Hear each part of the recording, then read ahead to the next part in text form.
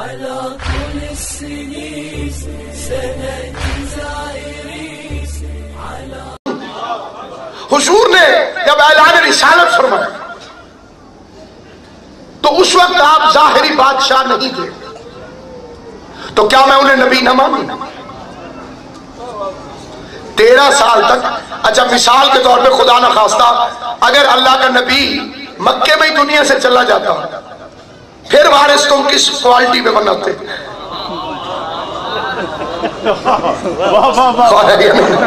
ایک بڑی قبلہ سادی سی زمین بھائی سادی سی بات ہے کہ اگر حضور معاد اللہ خدا نہ خواستہ مکے میں اللہ سے دنیا سے چلے جاتے نبی تو تھے پھر وارث کون ہوتا؟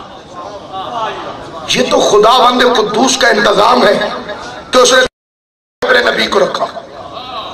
مکے میں مدینے میں۔ ایک ہی شہر میں رکھ دیتا۔ سیرت مکمل نہ ہوتی۔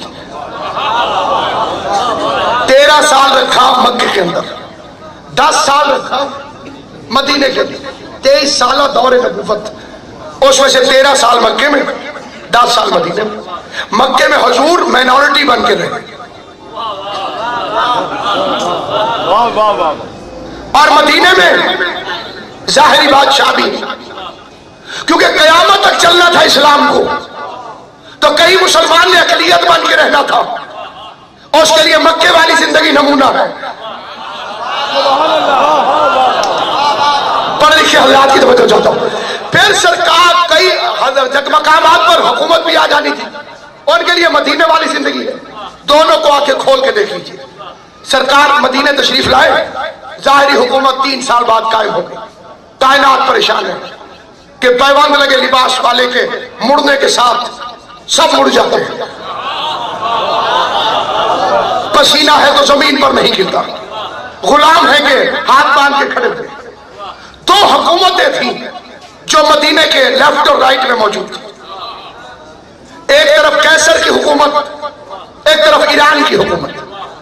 ادھر ایرانی جاہو جلال اور ادھر رومیوں کا جاہو جلال۔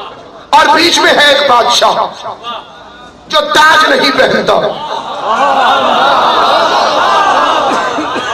رسول کا تعارف اللہ نے بادشاہ کے طور پہ نہیں کروایا، ہر نماز میں پڑھوایا۔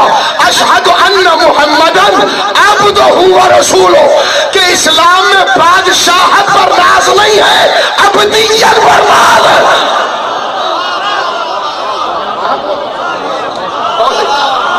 اسلام حکومت پہ ناز اگر بادشاہ ہونے کا اسلام میں حق تھا، تو سب سے زیادہ رسول اعظم کو تھا۔ ان کا ٹائٹل ہونا چاہیے تھا کہ سلطان معظم بادشاہ شہنشاہ۔ یہ تو مسلمان کا دیا ہوا لقب ہے، شہنشاہ مدینہ۔ عالمین کے رسول کو محدود کر دیا۔ جسے اللہ نے عالمین کے لیے بھیجا تھا، اسے خالی حضور عربوں کے رسول بن کر نہیں آئے خالی۔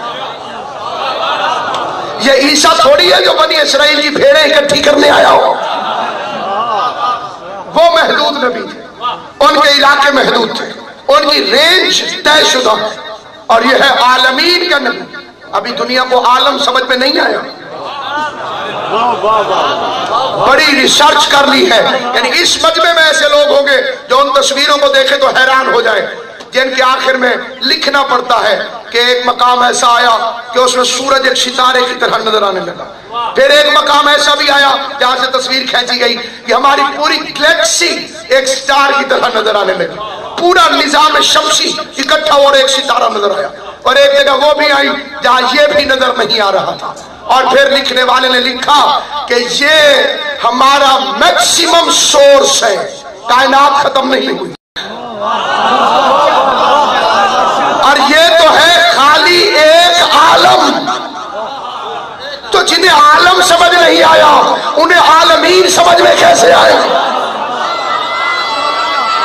اور جب اور جب یہ عالمین سمجھ میں آ جائے تو پھر اس پر تین ہستیوں کا قبضہ ہے۔ اس میں کسی کو اختلاف نہیں، کیونکہ قرآن بول رہا الحمد للہ رب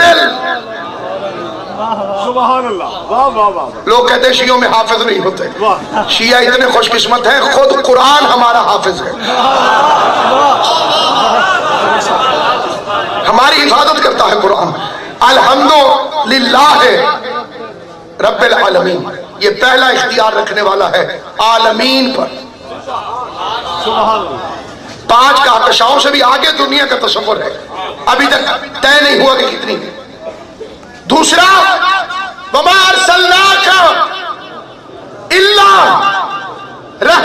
رحمت للعالمین یہ دو مشہور ہیں۔ تیسری گواہی ہمیشہ چھپائی جاتی رہی ہے۔ حالانکہ وہ بھی قرآن میں ہے، سورہ دخان جا کے پڑھنا۔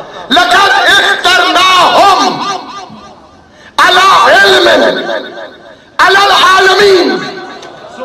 ہم نے ایک خام ان کے علم کی بنیاد پر مختار بنا۔